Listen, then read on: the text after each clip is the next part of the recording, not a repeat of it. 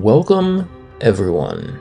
Hey, special, special shout out and a huge uh, thank you to everyone who supports this channel. We have finally hit, small drum roll please,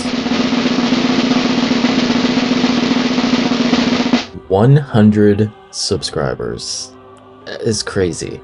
Literally could not have done that without all of you, honestly. With this special news also comes actually a new podcast playlist that I'm actually in the process of creating, um, which will focus attention on Broadway theaters and theaters across the US. So stay tuned as I will actually reveal more information as I get closer to unveiling it.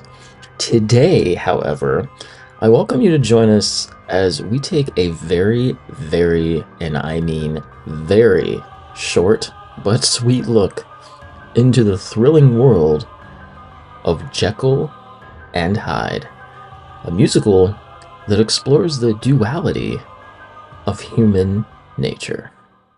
Jekyll and Hyde is a 1990 musical loosely based on the 1886 novel The Strange Case of Dr. Jekyll and Mr. Hyde by Robert Louis Stevenson, with a book by Leslie Bricusse and music and lyrics by Frank Wildhorn.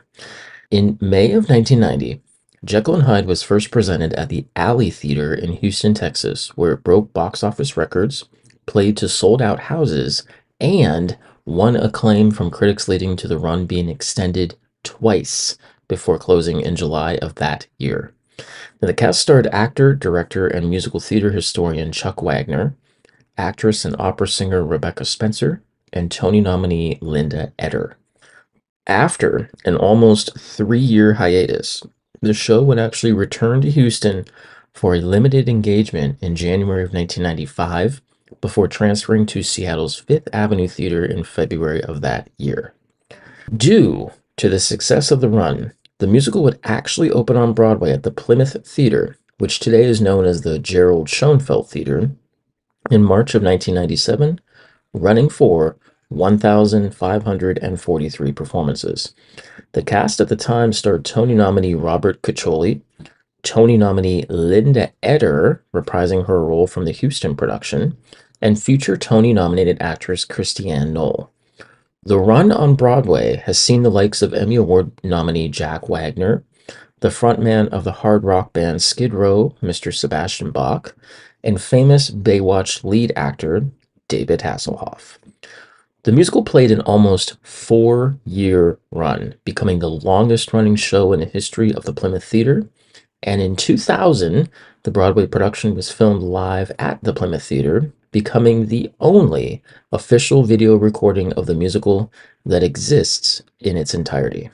By April of 2013, 16 years after its original run on Broadway, the musical of Good and Evil would return in its first revival at the Marquis Theater, starring sixth place finalist on the fourth season of American Idol, Mr. Constantine Maroulis, Canadian singer songwriter and eight time Juno Award nominee, Deborah Cox, singer and stage actress Teal Wicks, and the original voice of Gaston in Disney's animated film Beauty and the Beast, Richard White.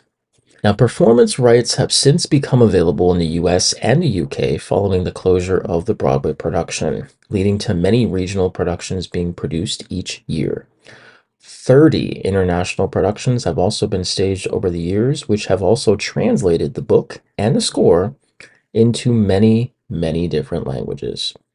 Well, folks, like I said, very, very, very short but sweet look into Jekyll and Hyde. Um, the show reminds us that the line between good and evil can often be blurry, making us also question our own inner struggles and the choices we make.